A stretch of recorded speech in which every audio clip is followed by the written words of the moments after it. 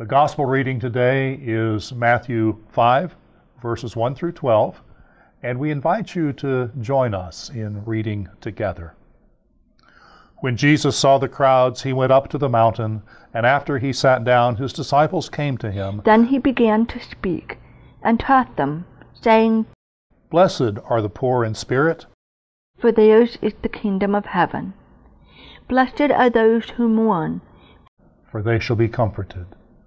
Blessed are the meek, for they will inherit the earth. Blessed are those who hunger and thirst for righteousness, for they will be filled. Blessed are the merciful, for they will receive mercy. Blessed are the pure in heart, for they will see God. Blessed are the peacemakers, for they will be called children of God. Blessed are those who are persecuted for righteousness' sake, for theirs is the kingdom of heaven. And blessed are you when people revile you and persecute you and utter all kinds of evil against you falsely on my account. Rejoice and be glad, for your reward is great in heaven.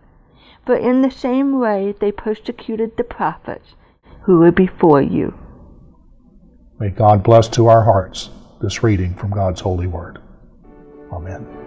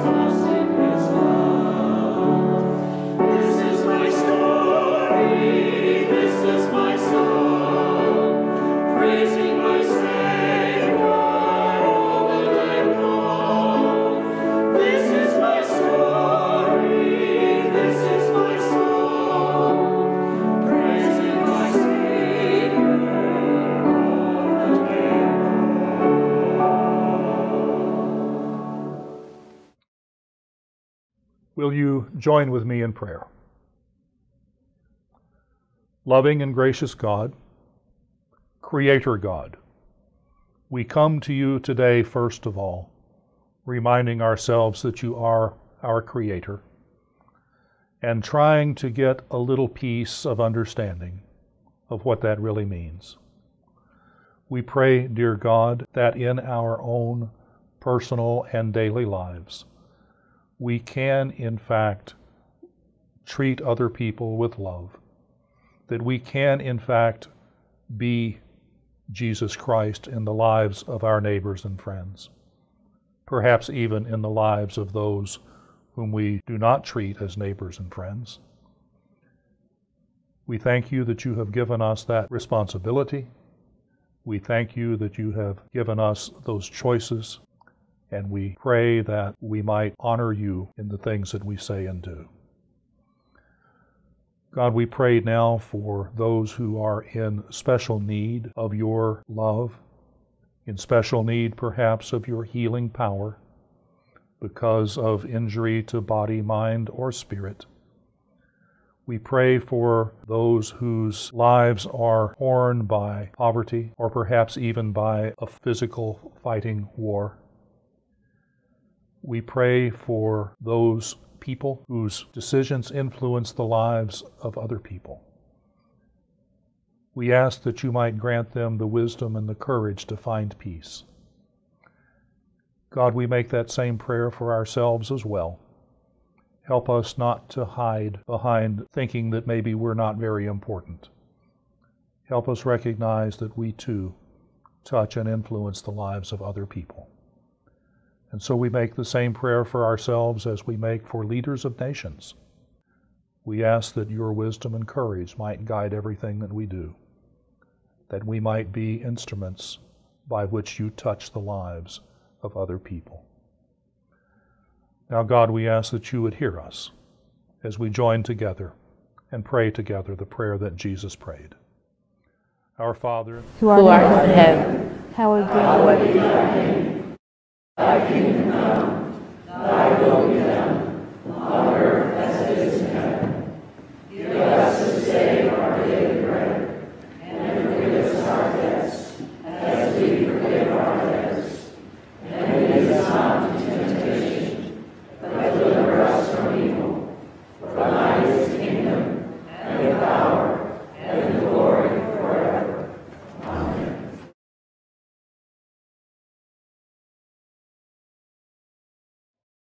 In our scriptures today, we continue our reading from Jesus' Sermon on the Mount. And it reads You have heard that it was said to those of ancient times, You shall not murder, and whoever murders shall be liable to judgment. But I say to you that if you are angry with a brother or sister, you will be liable to judgment. And if you insult a brother or sister, you will be liable to the council. And if you say, You fool, you will be liable to the hell of fire. So when you are offering your gift at the altar, if you remember that your brother or sister has something against you, leave your gift there before the altar and go. First, be reconciled to your brother or sister, and then come and offer your gift. Come to terms quickly with your accuser while you are on the way to court with him, or your accuser may hand you over to the judge and the judge to the guard, and you will be thrown into prison. Truly I tell you, you will never get out until you have paid the last penny. You have heard it said, You shall not commit adultery. But I say to you that everyone who looks at a woman with lust has already committed adultery with her in his heart. If your right eye causes you to sin, tear it out and throw it away. It is better for you to lose one of your members than for your whole body to be thrown into hell. And if your right hand causes you to sin, cut it off and throw it away. It is better for you to lose one of your members than for your whole body to go into hell. It was also said, Whoever divorces his wife, let him give her a certificate of divorce. But I say to you that anyone who divorces his wife, except on the ground of unchastity, causes her to commit adultery, and whoever marries a divorced woman commits adultery.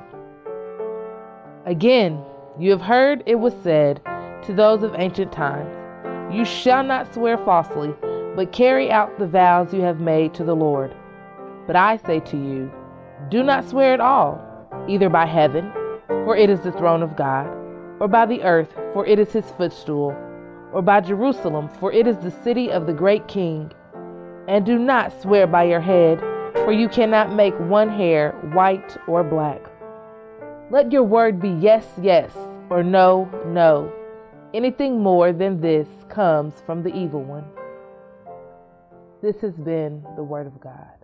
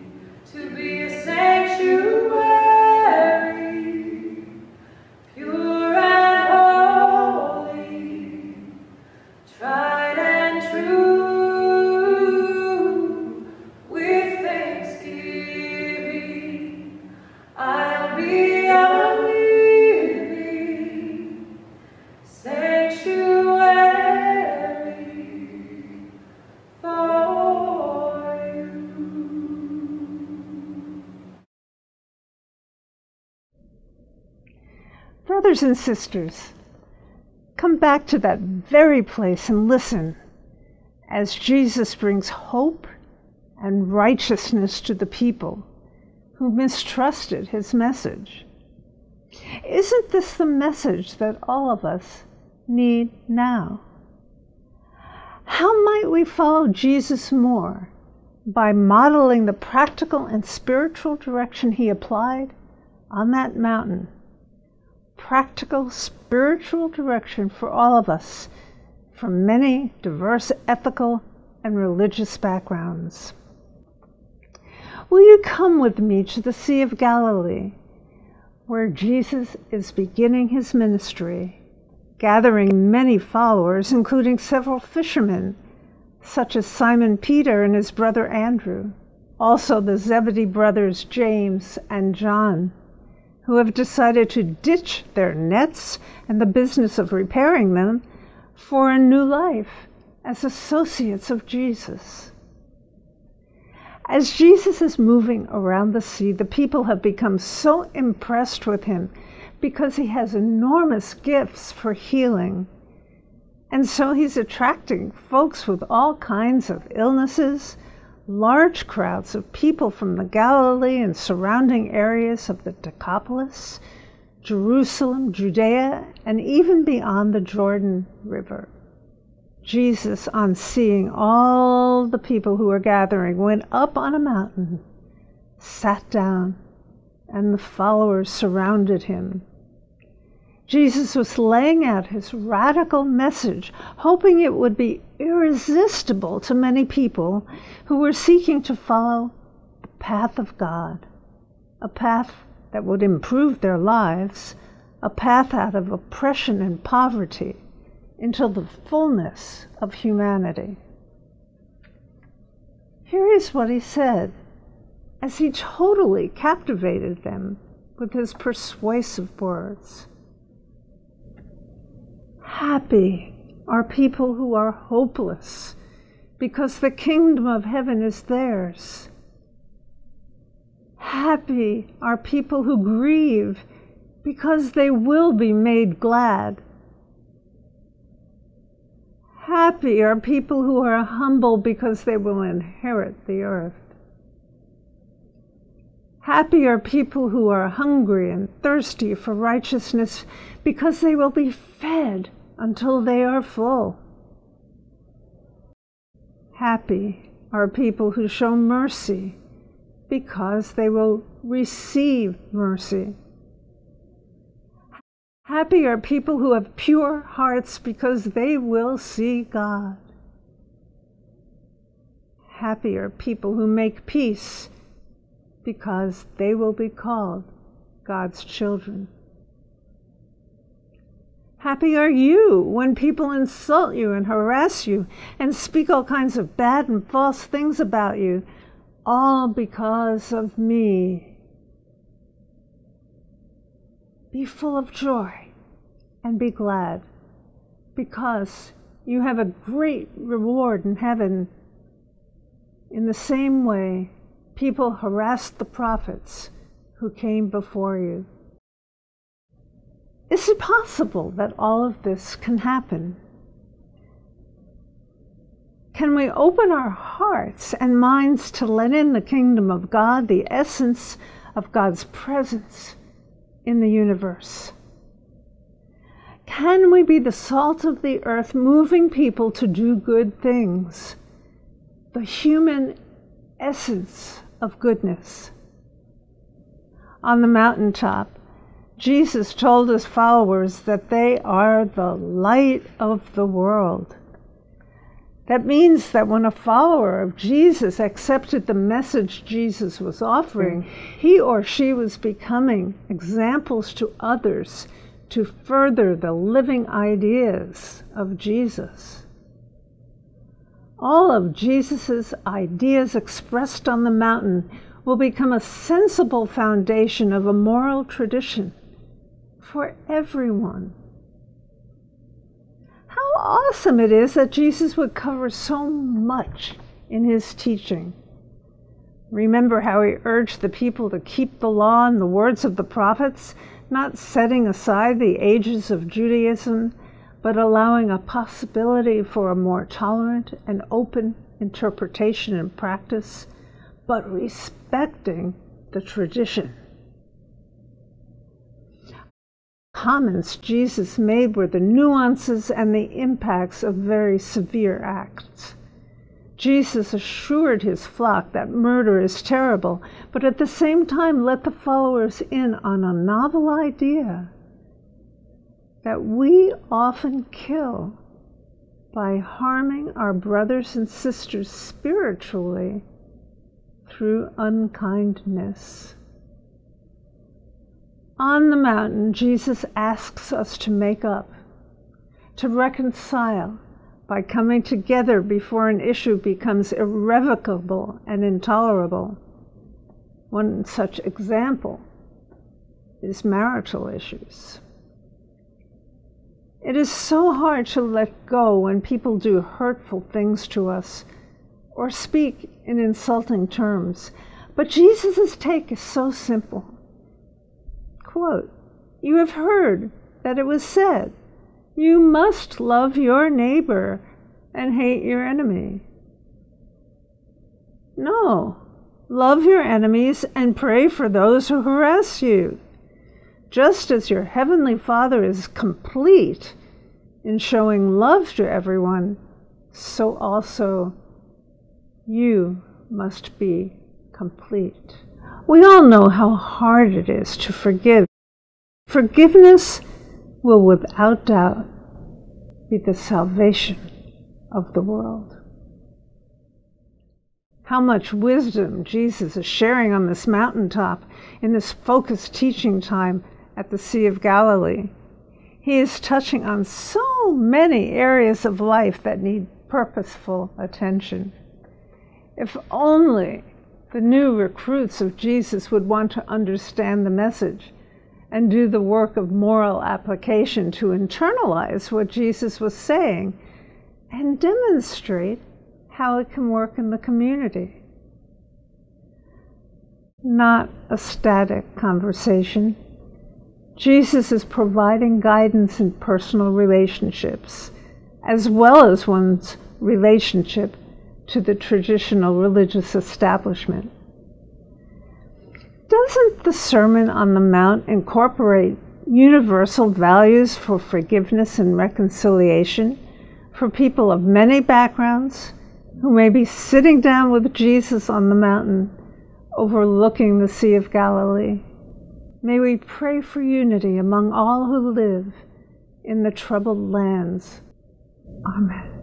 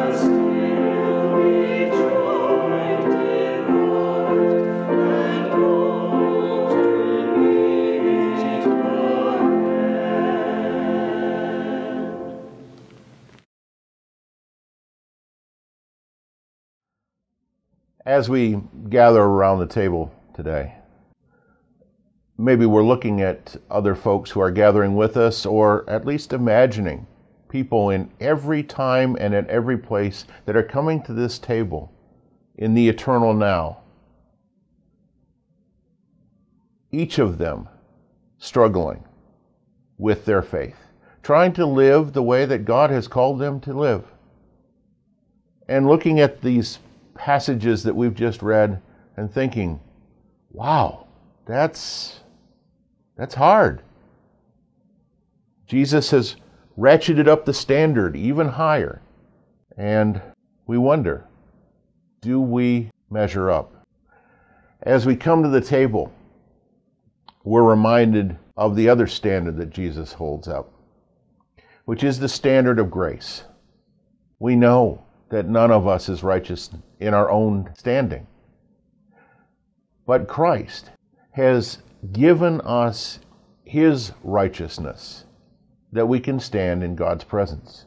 And as we think about and remember his death for us, remember also that he has done that so that every single one of you, each and every one of us, is welcome at this table and welcome in the presence of God.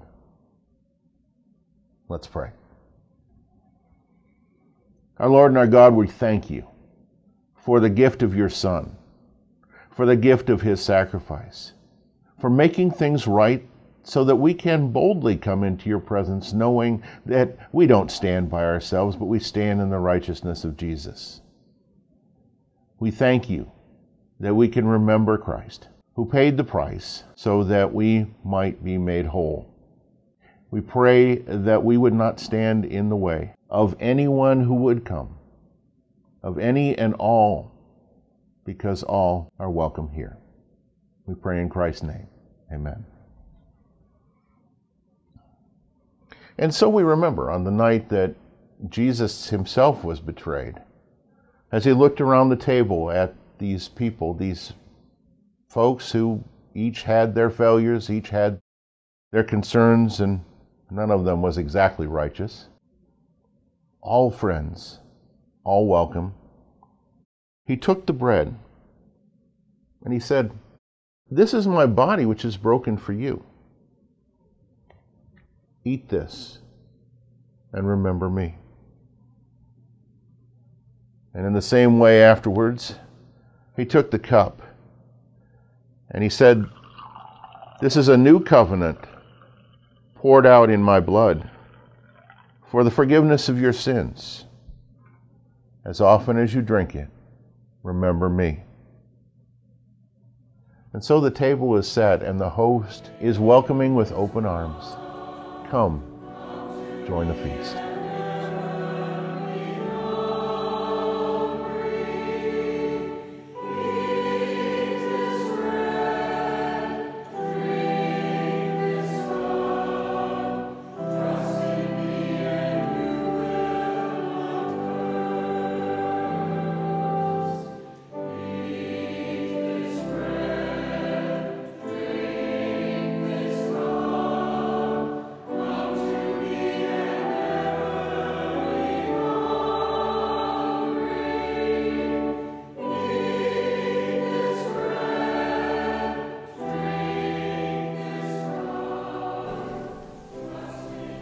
Dear friends,